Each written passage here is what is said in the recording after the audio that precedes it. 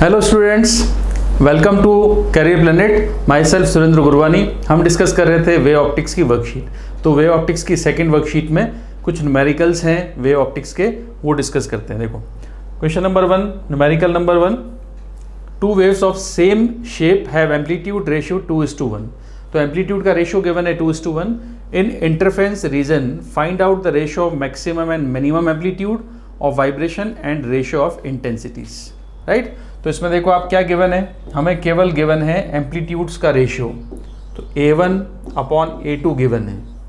ये ratio given है two is to one ठीक है?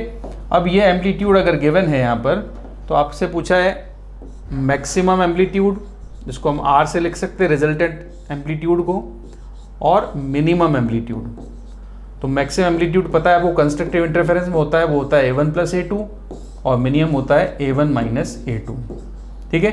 अब इसमें से हम ए टू कॉमन ले सकते हैं। तो ये हो जाएगा A one upon A two plus one मैंने ए टू यहाँ से कॉमन ले लिया।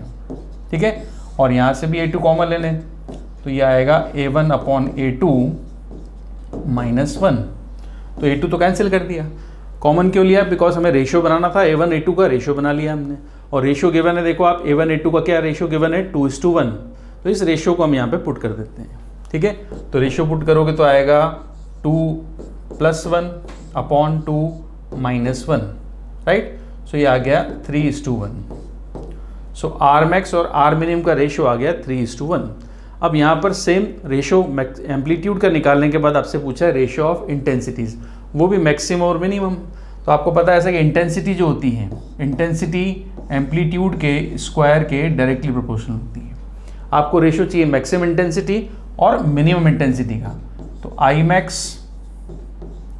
upon I minimum चाहिए। तो आई मैक्स के सामने आ जाएगा आर मैक्स ठीक है? स्क्वायर के साथ अपॉन आर मिनिमम ये भी स्क्वायर के साथ बिकॉज़ इंटेंसिटी एम्पलीट्यूड के स्क्वायर के डायरेक्टली प्रोपोर्शनल होती है राइट सो आर मैक्स और आर मिनिमम की वैल्यू आपको पता है। आर मैक्स और आर मिनिमम का रेशियो गिवन है। निकाल लिया हमने, वो है थ्री इज़ टू वन। तो ये थ्री इज़ टू वन यहाँ पर पुट करते हैं और three is to one put करोगे, फिर हमें करना है इसका स्क्वायर। तो थ्री इज़ टू वन का स्क्वायर कर देंगे, आंसर आ जाएगा nine is to one. So maximum और मिनिमम इंटेंसिटी का रेशियो है नाइन इज़ टू वन और मैक्सिमम और मिनिमम एम्पलीट्यूड का रेशियो है three is to one right तो ये एक एम्पलीट्यूड्स के रेशियो का न्यूमेरिकल एक इंपॉर्टेंट न्यूमेरिकल है।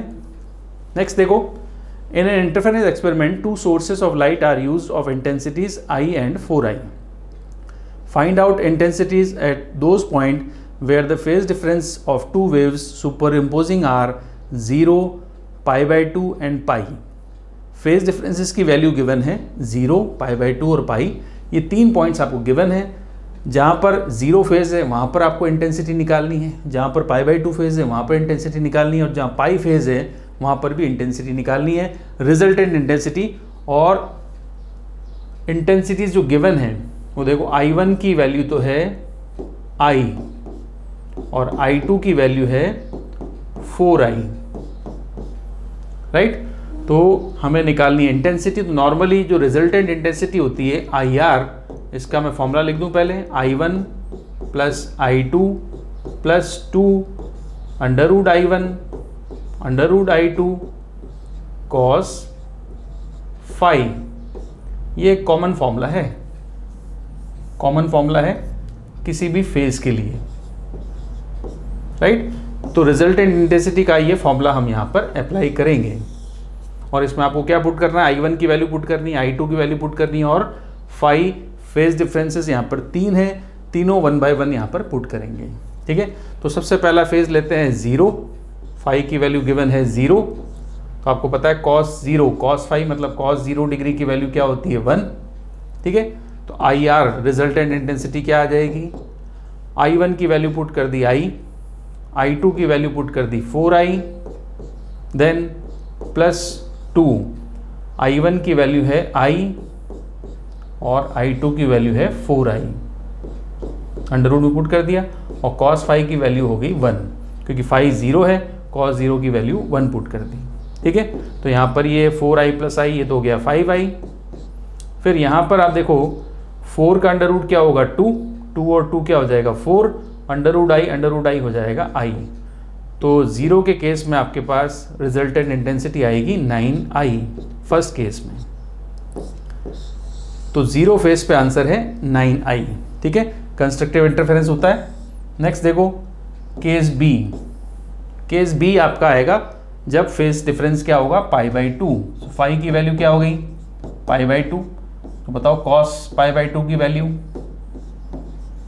हमें कॉस चाहिए होगा कॉस की वैल्यू यहाँ पुट करनी पड़ेगी तो सबके कॉस एंगल की वैल्यू पता होनी चाहिए तो कॉस पाई बाई टू की वैल्यू आपको पता है क्या होगी? ज़ीरो तो रिजल्टेंट इंटेंसिटी आ जाएगी I R I one plus I two तो आई वन की वैल्यू पुट कर देते हैं। ये फॉर्मूला लगा रहे हैं हम। आई वन की वैल्यू क्या है? आई प्लस आई टू की वैल्यू है four I plus two under root I under root four I और कॉस 90 मतलब ज़ीरो तो ये वाला पार्ट तो पूरा ज़ीरो हो गया। अब रिजल्टेंट मिला हमें 5 आई तो पाई बाई टू पर रिजल्टेंट आएगा 5 आई ठीक है? 5 आई रिजल्टेंट आएगा पाई बाई टू पर। ठीक है? तो पाई बाई टू पर ये रिजल्टेंट इंटेंसिटी मिली आपको। नेक्स्ट थर्ड भी पूछा है इसमें। थर्ड में क्या बोला है? पाई तो पाई की वैल्यू क्या होती है? कॉस पाई की वैल्यू सी पुट करते हैं। फाई की वैल्यू रखेंगे पाई और कॉस पाई की वैल्यू होती है माइनस वन कॉस ज़ीरो की value one cos one eighty की वैल्यू है पाई की वैल्यू माइनस वन तो ये भी हम फॉर्मूला पुट कर सकते हैं। देखो आई आर की वैल्यू क्या आ जाएगी? अगेन ये फॉर्मूला लगा रहे हैं। आई वन की वैल्यू क्या आई? आई टू की value four I plus two ये under I under four I, इसको हम सॉल्व कर चुके हैं। Under I under four I ये हो जाता है टू आई और कॉस फाइव की वैल्यू माइनस वन पुट कर देंगे हम। ठीक है? तो आगे तो ऐड कर रहे हो तो क्या आएगा? आगे तो आ जाएगा फाइव आई देन यहाँ पर आएगा माइनस का। माइनस है कॉस वन एटी की माइनस वन वैल्यू है। तो माइनस का two into two four I तो रिज़ल्ट आया आई ठीक है?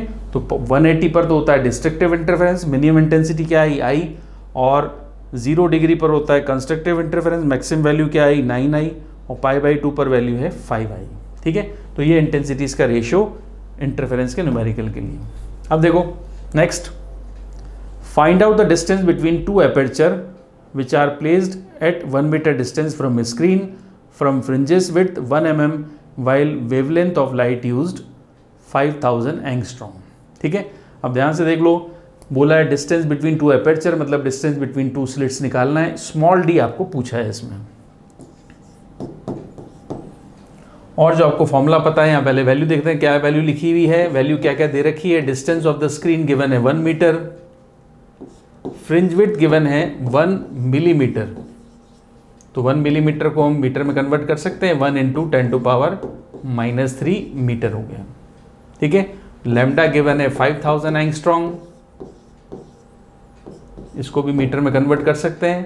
तो फाइव थाउज़ेंड एंगस्ट्रॉन्ग मतलब ten to power minus ten metre.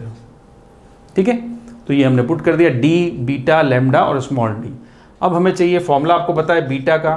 Lambda capital D upon small D capital D ऊपर आता है स्मॉल डी नीचे आता है तो स्मॉल डी का फॉर्मूला हो जाएगा लेमडा डी अपॉन बीटा इस फॉर्मूले में वैल्यू पुट करेंगे तो हमें डी की वैल्यू मिलेगी। डी पूछा था लेमडा डी बाय बीटा तो लेमडा गिवन है 5000 thousand angstrom five thousand angstrom two ten to power minus ten capital D कितना गिवन है? वन। ये तो वन हो जाएगा। और बीटा गिवन है one into ten to power minus three ठीक है? अब माइनस थ्री माइनस टेन से कैंसिल होगा तो माइनस सेवन बचेगा। और माइनस सेवन यहाँ पे तीन ज़ीरो कैंसिल कर दो तो डी की वैल्यू आ गई five into ten to power three zero कम कर दें तो माइनस फोर मीटर तो डी की वैल्यू आ गई। ठीक है?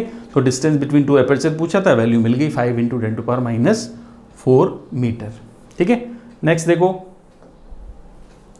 The light of wavelength five thousand five hundred angstrom is falling normally on aperture of with twenty two into ten to power minus twenty five centimetre find the angular position between two minima on both sides of central maxima ठीक है? तो angular position पूछी है between two minima on both sides of central maxima तो आपको पता है diffraction में डिफ्रैक्शन में स्क्रीन पर जो पैटर्न मिलता है सेंट्रल मैक्सिमा इस तरह से मिलेगा। फिर ये मिनिमा मिलता है, इस साइड भी आपको मिनिमा मिलता है, इस तरह से। ठीक है? तो ये देखो वैल्यू ये है सेंट्रल मैक्सिमा सेंट्रल मैक्सिमा ये है। ठीक है? सेंट्रल मैक्सिमा राइट तो हमें चाहिए find the angular position between two minima minima मतलब फ़र्स्ट मिनिमम ये आएगा फ़र्स्ट सेकेंड मिनिमा ये होगा, दोनों साइड का मिनिमा ये होगा। ये एंगल आपसे पूछा है। एंगुलर पोजिशन पूछी है ठीक है? तो ये है थीटा ये ठीटा है। और ये भी थीटा है। तो एंगुलर पोजीशन क्या हो जाएगी? टू ठीटा और ठीटा की वैल्यू आपको पता है। ठीटा की वैल्यू होती है लेमडा बाय ए तो एंगुलर पोजीशन क्या होगी? एंगुलर पोजीशन जो बनेगी, वो बनेगी two theta angular position total आ जाएगी टू थीटा एंगुलर पोजीशन होगी टू थीटा और थीटा की वैल्यू है लेमडा बाई है तो टू लेमडा बाई ए हमें यहाँ पे यूज़ करना है, ठीक है? तो लेमडा कितना गिवन है?